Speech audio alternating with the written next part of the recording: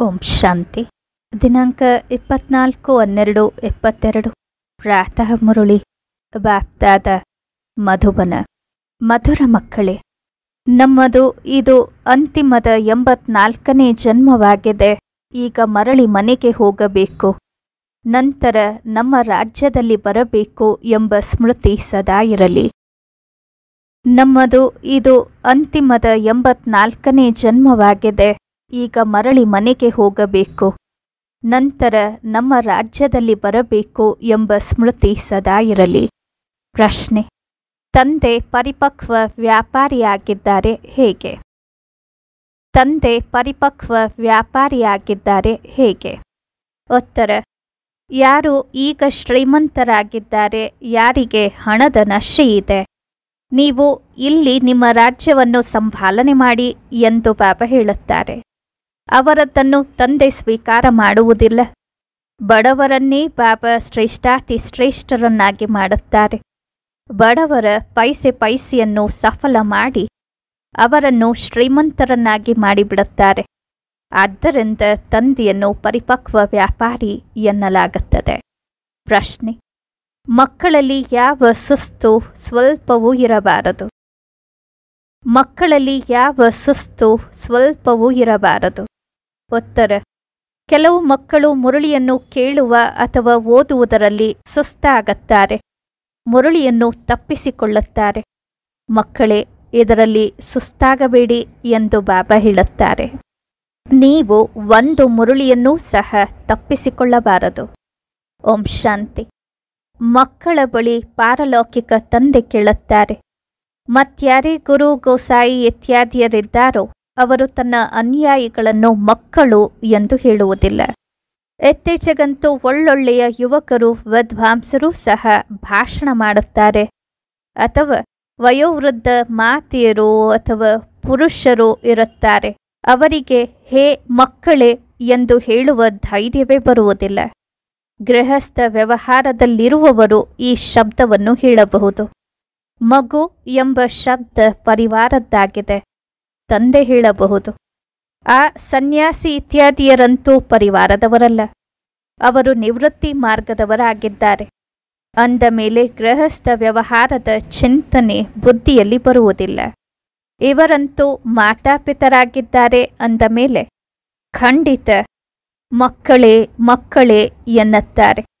ಪಾರಲೌಕಿಕ ತಂದೆ ನಾವು ಮಕ್ಕಳಿಗೆ ತಿಳಿಸುತ್ತಾರೆ ಎಂದು ನೀವೂ ಸಹ ಅರ್ಥ ಮಾಡಿಕೊಂಡಿದ್ದೀರ ಮಕ್ಕಳೇ, ನಿಮ್ಮ ಮನೆ ಯಾವುದಾಗಿದೆ ಎಂದು ಕೇಳುತ್ತಾರೆ. ಪರಮಧಾಮ. ಪರಮಧಾಮ ಎನ್ನುವುದರಿಂದ ಯಾರೂ ತಿಳಿದುಕೊಳ್ಳುವುದಿಲ್ಲ. ಶಾಂತಿಧಾಮ, ನಿರ್ವಾಣಧಾಮವೆಂದು ಹೇಳಬೇಕು.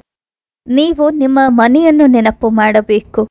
ನಮ್ಮನ್ನು ಶೃಂಗಾರ ಮಾಡಿ ಮನೆಗೆ ಕರೆದೊಯ್ಯಲು ಬಾಬಾ ಬಂದಿದ್ದಾರೆ ಎಂದು ತಿಳಿದಿದ್ದೀರ?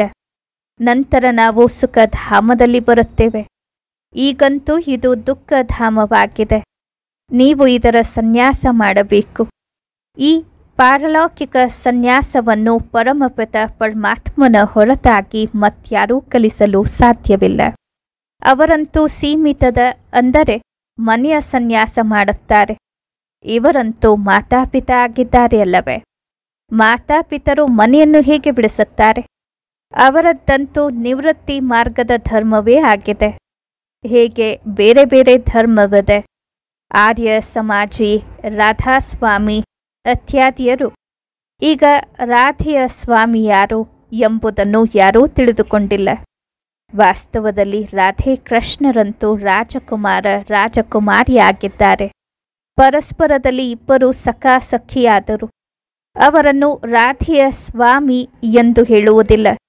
ರಾಧೆಯ ಸ್ವಾಮಿಯಾದ ನಂತರ ಹೆಸರು ಬದಲಾಗಿ ಲಕ್ಷ್ಮೀನಾರಾಯಣ ಎಂಬ ಹೆಸರು ಬರುತ್ತದೆ. ಶ್ರೀನಾರಾಯಣ ಸ್ವಾಮಿಯಾಗಿದ್ದಾರೆ. ಆಹಾ, ಎಲ್ಲಿಯವರೆಗೆ ವಿವಾಹ ಮಾಡಿಕೊಂಡಿಲ್ಲವೋ ಅಲ್ಲಿಯವರೆಗೆ ಸ್ವಾಮಿ ಎಂದು ಹೇಳುವುದಿಲ್ಲ. ಇದು ಅರ್ಥ ಮಾಡಿಕೊಳ್ಳುವ ವಿಚಾರಗಳಾಗಿವೆ. ತನ್ನ ಶಾಂತಿಧಾಮ, ಸುಖಧಾಮ ನೆನಪಿದೆಯೇ ಎಂದು ತಂದೆ ಮಕ್ಕಳನ್ನು ಕೇಳಿದರು. ಈ ರಾವಣಪುರಿ ದುಃಖಧಾಮವಾಗಿದೆ. ಪುರಿ ಇರುವ ಸ್ಥಳ ಆಗಿರುತ್ತದೆ. ರಾವಣಪುರಿಯಲ್ಲಿ ರಾಮ ಸೀತೆ ಇರುವುದಿಲ್ಲ. ಹಾಗಂತೂ ನೀವೆಲ್ಲರೂ ಸೀತೆಯರಾಗಿದ್ದೀರ.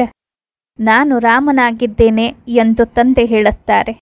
ನೀವು ಸೀತೆಯರನ್ನು ರಾವಣನ ಸೆರೆಮನೆಯಿಂದ ನಾನು ಬಿಡಿಸಬೇಕಾಗುತ್ತದೆ. ಇಡೀ ಪ್ರಪಂಚ ಸಮುದ್ರದ ಮಧ್ಯದಲ್ಲಿದೆ. ಅದರ ಮೇಲೆ ರಾವಣನ ರಾಜ್ಯವಿದೆ. ರಾಮರಾಜ್ಯವಂತೂ ಸತ್ಯುಗದಲ್ಲಿತ್ತು. ಅದರಲ್ಲಿ ಲಕ್ಷ್ಮೀನಾರಾಯಣರು ರಾಜ್ಯವಾಳುತ್ತಿದ್ದರು. ಎದ್ದದ್ದು ಭಾರತದ ಮೇಲೆ. ಆದರೆ ಆ ಸಮಯದಲ್ಲಿ ಮತ್ಯಾವ ಖಂಡ ಇಲ್ಲದ ಕಾರಣ ಇವರು ಸಹ ವಿಶ್ವದ ಮಾಲೀಕರಾಗಿದ್ದರು ಎಂದು ಹೇಳಲಾಗುತ್ತದೆ. ಇರುವುದು ಭಾರತದ ಮಾಲೀಕರು.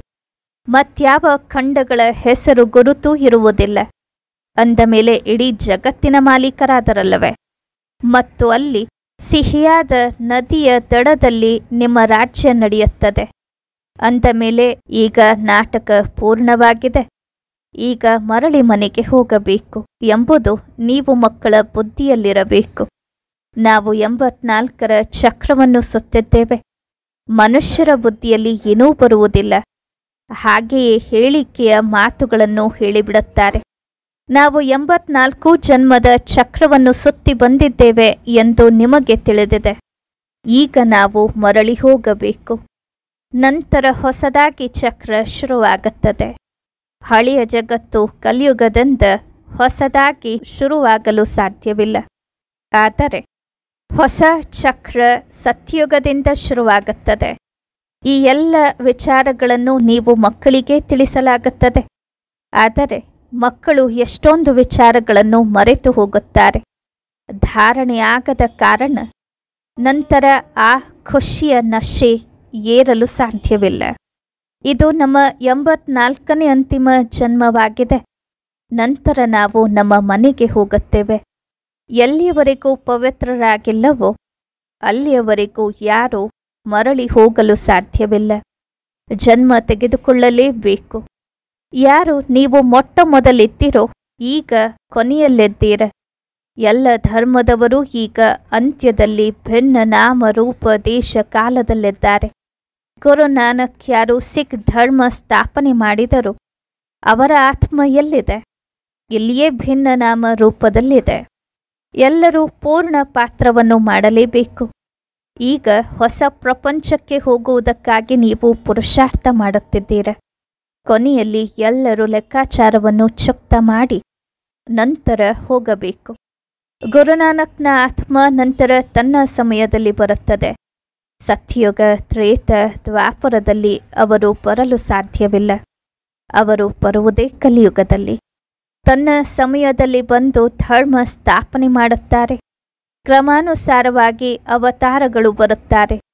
ಅವರು ಬಂದು ತಮ್ಮ ಧರ್ಮ ಸ್ಥಾಪನೆ ಮಾಡುತ್ತಾರೆ. ಮೊದಲನೇ ಸಂಖ್ಯೆಯ ಅವತಾರ ಭಗವಂತನದ್ದಾಗಿದೆ. ಈಗ ನಿರಾಕಾರ ಹೇಗೆ ಅವತಾರ ತೆಗೆದುಕೊಳ್ಳುತ್ತಾರೆ? ನಾನು ಈ ವಸ್ತ್ರದ ಆಧಾರ ತೆಗೆದುಕೊಂಡಿದ್ದೇನೆ ಎಂದು ತಿಳಿಸುತ್ತಾರೆ. ಇವರಿಗೆ ತನ್ನ ಜನ್ಮಗಳ ಬಗ್ಗೆ ತಿಳಿದಿಲ್ಲ.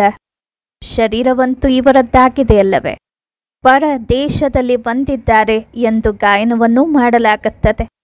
ಬೇರೆ ಎಲ್ಲರೂ ತನ್ನ ದೇಶ, ತನ್ನ ಶರೀರದಲ್ಲಿ ಬರುತ್ತಾರೆ.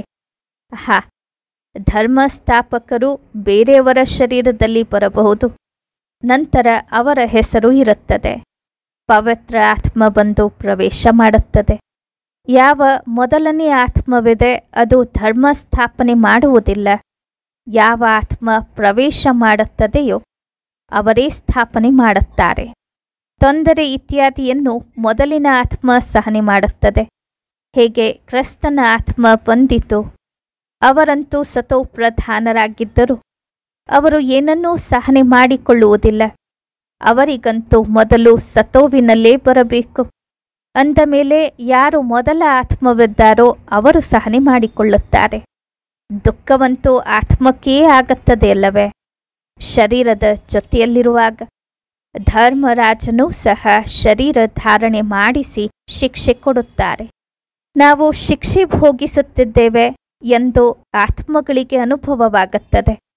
ಆದ್ದರಿಂದ ಪಾಪಾತ್ಮ, ಪುಣ್ಯಾತ್ಮ ಎನ್ನಲಾಗುತ್ತದೆ. ಪಾಪ ಶರೀರ, ಪುಣ್ಯ ಶರೀರ ಎಂದು ಹೇಳಲಾಗುವುದಿಲ್ಲ. ಸನ್ಯಾಸಿಯಂತೂ ಆತ್ಮ ನಿರ್ಲೇಪವಾಗಿದೆ, ಶರೀರದ ಮೇಲೆ ಪಾಪ ಹತ್ತುತ್ತದೆ ಎಂದು ಬಿಡುತ್ತಾರೆ. ಅನೇಕ ಪ್ರಕಾರದ ಗುರುಜನರಿದ್ದಾರೆ. ಬಾಬಾ ಅವರು ಬಹಳ ಗುರುಗಳ ಅನುಭವ ಮಾಡಿದ್ದಾರೆ. ಏಕೆ ಸನ್ಯಾಸ ಮಾಡಿದಿರಿ ಮನೆಯನ್ನು ಏಕೆ ಬಿಟ್ಟಿರಿ ಎಂದು ಬಾಬಾ ಪ್ರತಿಯೊಬ್ಬರನ್ನೂ ಕೇಳುತ್ತಿದ್ದರು. ಹೇಳುತ್ತಿರಲಿಲ್ಲ. ನಾನು ಸಹ ಮಾಡಬಹುದೋ ಅಥವಾ ಇಲ್ಲವೋ ಎಂದು ನಾನು ಹೇಗೆ ತಿಳಿದುಕೊಳ್ಳಲಿ ಎಂದು ಆಗ ನಾನು ಹೇಳುತ್ತಿದ್ದೆ. ಇಂತಹ ಮಾತುಗಳನ್ನು ಬಹಳ ತಿಳುವಳಿಕೆಯಿಂದ ಆಡುತ್ತಿದ್ದೆ. ಇದೆಲ್ಲ ಮನುಷ್ಯ ಸೃಷ್ಟಿರೂಪಿ ವೃಕ್ಷವೇನಿದೆ. ಎದರದ್ದು ಟೊಳ್ಳು ಸ್ಥಿತಿಯಾಗಿದೆ ಎಂದು ಈಗ ತಿಳಿಯುತ್ತೇನೆ. ಈಗ ಮತ್ತೆ ಹೊಸದಾಗಿ ಶುರುವಾಗಬೇಕು. ಪ್ರಳಯವಂತೂ ಆಗುವುದಿಲ್ಲ. ಶಾಸ್ತ್ರಗಳಲ್ಲಿ ಮಹಾಪ್ರಳಯವನ್ನು ತೋರಿಸಿದೆ. ಅದಂತೂ ಆಗುವುದಿಲ್ಲ. ಶ್ರೀಕೃಷ್ಣ ಸಾಗರದಲ್ಲಿ ಅರಳಿಯ ಎಲೆಯ ಮೇಲೆ ಬಂದ ಎಂದು ಹೇಳುತ್ತಾರೆ. ಇದೆಲ್ಲವೂ ಸುಳ್ಳಾಗಿದೆ. ನಾನಂತೂ ಆದಿಸನಾತನ ದೇವತಾ ಧರ್ಮ ಸ್ಥಾಪನೆ ಮಾಡಲು ಬರುತ್ತೇನೆ ಎಂದು ತಂದೆ ಹೇಳುತ್ತಾರೆ. ಯಾವಾಗಲೂ ಮೊದಲು ಸ್ಥಾಪನೆ, ನಂತರ ವಿನಾಶ, ಪಾಲನೆ ಈ ರೀತಿ ಹೇಳಬೇಕು. ಮೊದಲು ಸ್ಥಾಪನೆ, ಪಾಲನೆ, ನಂತರ ವಿನಾಶ ಎನ್ನುವುದು ಅಲ್ಲ. ಅಂದ ಮೇಲೆ ಯಾರಾದರೂ ಬುದ್ಧಿವಂತರು ಕೇಳಿದರೆ, ಇವರು ಕಿಳಿಯಂತೆ ಓದಿದ್ದಾರೆ ಎಂದು ಹೇಳುತ್ತಾರೆ. ಸ್ಥಾಪನೆ, ಪಾಲನೆ, ನಂತರ ವಿನಾಶ ಹೀಗೆ ಆಗುತ್ತದೆ? ಆದ್ದರಿಂದ ನಿಯಮಬದ್ಧವಾಗಿ ಸರಿಯಾದ ಶಬ್ದವನ್ನು ಹೇಳಬೇಕು. ಸ್ಥಾಪನೆ, ವಿನಾಶ, ಪಾಲನೆ. ಈಗ ಶ್ರೇಷ್ಠಾತಿ ಶ್ರೇಷ್ಠ ತಂದೆಯ ಶ್ರೀಮತ ನಿಮಗೆ ಸಿಗುತ್ತದೆ. ಬ್ರಹ್ಮನ ತನುವಿನ ಮುಖಾಂತರ ಕೊಡುತ್ತಾರೆ. ಬಾಬಾ ಅವರ ಈ ಶರೀರ ನಿಗದಿಯಾಗಿದೆ. ಬುದ್ಧಿವಂತ ಮಕ್ಕಳಾದವರು ಏನಾದರೂ ಸಲಹೆಯನ್ನು ಕೇಳಬೇಕಿದ್ದರೆ ಶ್ರೀಮತ ತೆಗೆದುಕೊಳ್ಳುತ್ತಾರೆ. ಶ್ರೀಮತದಂತೆ ನಡೆಯುವುದರಿಂದ ಎಂದಿಗೂ ಮೋಸ ಹೋಗುವುದಿಲ್ಲ. ಶಿವಬಾಬಾ ಅವರದ್ದೇ ಶ್ರೀಮತವಾಗಿದೆ. ಬಾಬಾ ಎಲ್ಲಿ ದೂರ ಇದ್ದಾರೆ? ಮಕ್ಕಳು ತಪ್ಪು ನಡೆಯುತ್ತಾರೋ ಅಥವಾ ಸರಿಯಾಗಿ ನಡೆಯುತ್ತಾರೋ ಎಂದು ತಂದೆ ನೋಡುತ್ತಾರೆ. ಸರ್ಜನ್ನಿಂದ ಪ್ರತಿಯೊಬ್ಬರಿಗೂ ಸಲಹೆ ಸಿಗುತ್ತದೆ. ಇವರು ಅತ್ಯಂತ ದೊಡ್ಡ ಸರ್ಜನ್ ಆಗಿದ್ದಾರೆ ಯಾವುದೇ ವಿಚಾರದಲ್ಲಿ ತೊಂದರೆಯಾದರೂ ಬಾಬಾ ಕುಳಿತಿದ್ದಾರೆ. ಶ್ರೀಮತದಂತೆ ನಡೆಯುತ್ತೀರಿ. ಯಾರಾದರೂ ಬಡ ಮಕ್ಕಳಿದ್ದಾರೆ, ಧಾರಣೆ ಚೆನ್ನಾಗಿದೆ ಸರ್ವಿಸೇಬಲ್ ಆಗಿದ್ದಾರೆ, ಆದರೆ ಬಡವರಾಗಿದ್ದಾರೆ, ಆದ್ದರಿಂದ ಬಂದು ಮಿಲನ ಮಾಡಲು ಸಾಧ್ಯವಿಲ್ಲ ಎಂದು ತಿಳಿಯಿರಿ. ಅಂತಹವರಿಗೆ ಟಿಕೆಟ್ ಸಹ ಸಿಗಲು ಸಾಧ್ಯವಿದೆ. ತಂದೆಯಂತೂ ಬಡವರ ಬಂಧು ಆಗಿದ್ದಾರೆ ಅಲ್ಲವೇ? ಹಾಗಂತೂ ತಂದೆಗೆ ಅತ್ಯಂತ ಬಡವರು ಮತ್ತು ಓದಿ ಶ್ರೇಷ್ಠಾತಿ ಶ್ರೇಷ್ಠ ಏರುವಂತಹ ಮಕ್ಕಳು ಬೇಕು. ಇತ್ತೀಚೆಗೆ ಎಲ್ಲರೂ ಬಡವರಾಗಿದ್ದಾರೆ. ಹತ್ತಿಪ್ಪತ್ತು ಲಕ್ಷವಂತೂ ಏನೂ ಅಲ್ಲ. ಹತ್ತು ಇಪ್ಪತ್ತು ಕೋಟಿ ಇದ್ದರೆ ಸಾಹುಕಾರರು ಎನ್ನಬಹುದು. ಪದುಮಪತಿಗಳು ಈ ಆಸ್ತಿಯನ್ನು ತೆಗೆದುಕೊಳ್ಳಲು ಸಾಧ್ಯವಿಲ್ಲ ಎಂದು ಬಾಬಾ ತಿಳಿಸಿದ್ದಾರೆ. ಅವರು ಅರ್ಪಣೆಯಾಗಲು ಸಾಧ್ಯವಿಲ್ಲ. ಬಾಬಾ ಅಲೋ ಮಾಡುವುದಿಲ್ಲ. ಬಡವರ ಪೈಸೆ ಪೈಸೆ ಸಫಲವಾಗುತ್ತದೆ. ಆ ರೀತಿ ಏನು ಅವಶ್ಯಕತೆ ಇದೆ? ಇವರೂ ಸಹ ಪರಿಪಕ್ವ ವ್ಯಾಪಾರಿಯಾಗಿದ್ದಾರೆ. ಆದ್ದರಿಂದ ಶ್ರೀಮಂತರು ಬರುವುದೇ ಇಲ್ಲ. ನೀವು ನಿಮ್ಮ ರಾಜ್ಯವನ್ನು ಸಂಭಾಲನೆ ಮಾಡುತ್ತೀರಿ ಎಂದು ತಂದೆ ಹೇಳುತ್ತಾರೆ. ಬಾಬಾ ಬಂದು ಎಲ್ಲ ವೇದಶಾಸ್ತ್ರಗಳ ಸಾರವನ್ನು ತಿಳಿಸುತ್ತಾರೆ ಎಂದು ಈಗ ನೀವು ಮಕ್ಕಳು ಅರ್ಥ ಮಾಡಿಕೊಂಡಿದ್ದೀರ.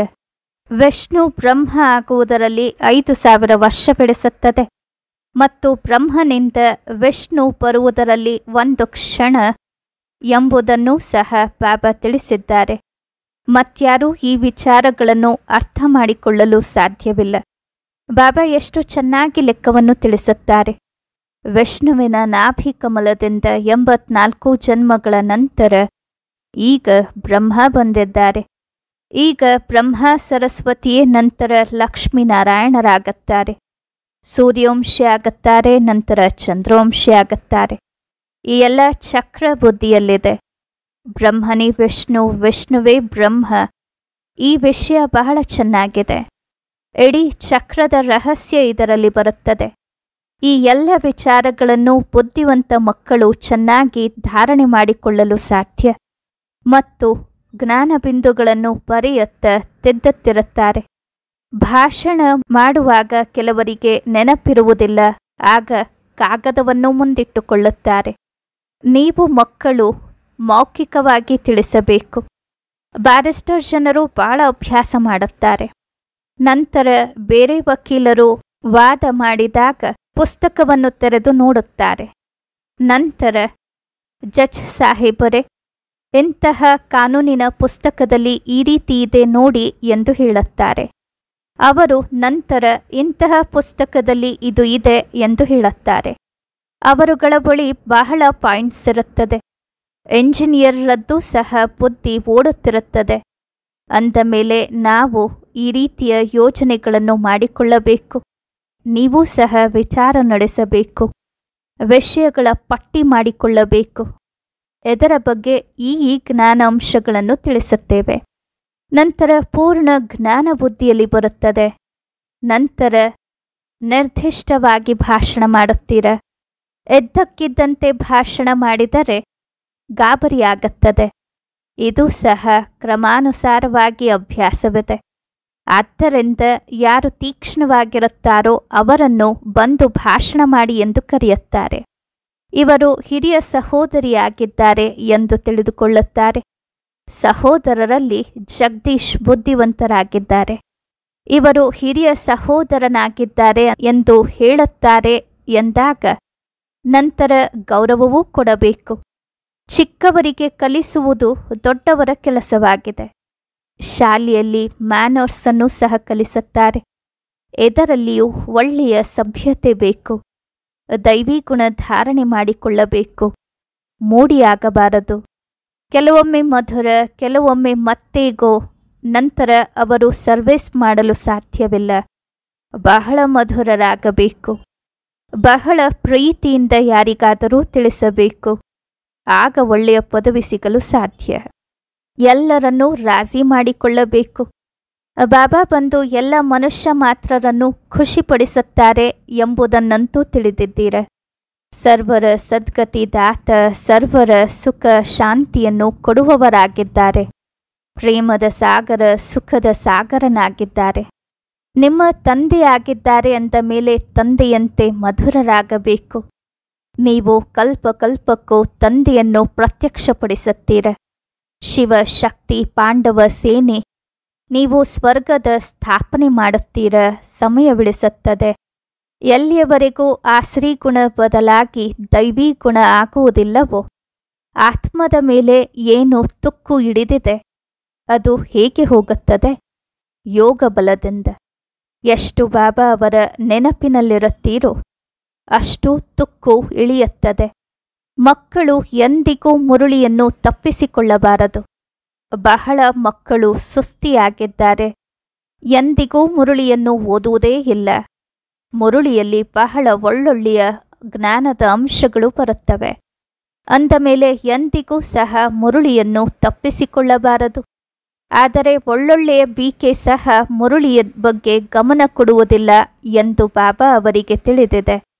ನಾವು ಬುದ್ಧಿವಂತರಾಗಿದ್ದೇವೆ ಎಂದು ತಿಳಿದುಕೊಳ್ಳುತ್ತಾರೆ. ಒಳ್ಳೆಯದು. ಮಧುರಾತಿ ಮಧುರ ಅಗಲಿ ಸಿಕ್ಕಿರುವ ಮಕ್ಕಳ ಪ್ರತಿಯಾಗಿ ಮಾತಾಪಿತ ಬಾಪ್ತಾದರವರ ಸವಿನೆನಪು ಹಾಗೂ ಸುಪ್ರಭಾತ. ಆತ್ಮೀಯ ಮಕ್ಕಳಿಗೆ ಆತ್ಮೀಯ ತಂದೆಯ ನಮಸ್ಕಾರ. ಆತ್ಮೀಯ ತಂದೆಗೆ ಆತ್ಮೀಯ ಮಕ್ಕಳ ನಮಸ್ಕಾರಗಳು. ಧಾರಣೆಗಾಗಿ ಮುಖ್ಯ ಸಾರ. ಮೊದಲನೆಯದ್ದು ಎಲ್ಲರನ್ನೂ ರಾಜಿ ಮಾಡಿಕೊಳ್ಳಬೇಕು. ಮೂಡಿ ಬುದ್ಧಿಯವರಾಗಬಾರದು. ಬಹಳ ಬಹಳ ಮಧುರರಾಗಬೇಕು. ಒಳ್ಳೆಯ ಸಭ್ಯತೆಯನ್ನು ಕಲಿಯಬೇಕು ಮತ್ತು ಕಲಿಸಬೇಕು. ಎರಡನೆಯದ್ದು, ಪ್ರತಿ ಹೆಜ್ಜೆಯಲ್ಲಿ ಸುಪ್ರೀಂ ಸರ್ಜನ್ನಿಂದ ಸಲಹೆ ತೆಗೆದುಕೊಳ್ಳಬೇಕು. ಶ್ರೀಮತದಂತೆ ನಡೆಯುತ್ತಿರಬೇಕು. ಬುದ್ಧಿವಂತರಾಗಿ ಪ್ರತಿ ಜ್ಞಾನದ ಅಂಶವನ್ನು ಸ್ವಯಂನಲ್ಲಿ ಧಾರಣೆ ಮಾಡಿಕೊಳ್ಳಬೇಕು.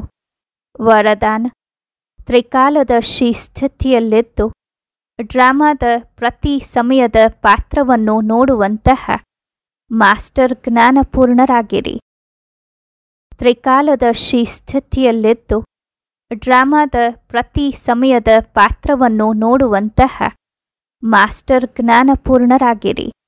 ತ್ರಿಕಾಲದರ್ಶಿ ಸ್ಥಿತಿಯಲ್ಲಿ ಸ್ಥಿತರಾಗಿದ್ದು ನಾವು ಏನಾಗಿದ್ದೆವು, ಏನಾಗಿದ್ದೇವೆ ಮತ್ತು ಏನಾಗುತ್ತೇವೆ ಎಂಬುದನ್ನು ನೋಡಿ. ಈ ಡ್ರಾಮಾದಲ್ಲಿ ನಮ್ಮ ವಿಶೇಷ ಪಾತ್ರ ನಿಗದಿಯಾಗಿದೆ. ನಿನ್ನೆ ನಾವು ದೇವತೆ ಆಗಿದ್ದೆವು. ಮತ್ತು ನಾಳೆ ಆಗುವವರಿದ್ದೇವೆ ಎಂಬಷ್ಟು ಸ್ಪಷ್ಟವಾಗಿ ಅನುಭವವಾಗಲಿ. ನಮಗೆ ಮೂರು ಕಾಲಗಳ ಜ್ಞಾನ ಸಿಕ್ಕಿದೆ. ಹೇಗೆ ಯಾವುದಾದರೂ ದೇಶದಲ್ಲಿ ಯಾವಾಗ ಎತ್ತರದ ಸ್ಥಾನದಲ್ಲಿ ನಿಂತು ಇಡೀ ಊರನ್ನು ನೋಡುತ್ತಾರೆ, ಆಗ ಮಜಾ ಬರುತ್ತದೆ. ಅದೇ ರೀತಿ ಸಂಗಮ ಯುಗ ಟಾಪ್ ಪಾಯಿಂಟ್ ಆಗಿದೆ. ಇದರ ಮೇಲೆ ನಿಂತು ಜ್ಞಾನಪೂರ್ಣರಾಗಿ ಪ್ರತಿ ಪಾತ್ರವನ್ನು ನೋಡಿದಾಗ ಬಹಳ ಮಜಾ ಬರುತ್ತದೆ. ಸ್ಲೋಗನ್, ಯಾರು ಸದಾ ಯೋಗಯುಕ್ತರಾಗಿರುತ್ತಾರೋ ಅವರಿಗೆ ಸರ್ವರ ಸಹಯೋಗ ಸ್ವತಃ ಪ್ರಾಪ್ತವಾಗುತ್ತದೆ. ಯಾರು ಸದಾ ಯೋಗಯುಕ್ತರಾಗಿರುತ್ತಾರೋ ಅವರಿಗೆ ಸರ್ವರ ಸಹಯೋಗ ಸ್ವತಃ ಪ್ರಾಪ್ತವಾಗುತ್ತದೆ. ಓಂ ಶಾಂತಿ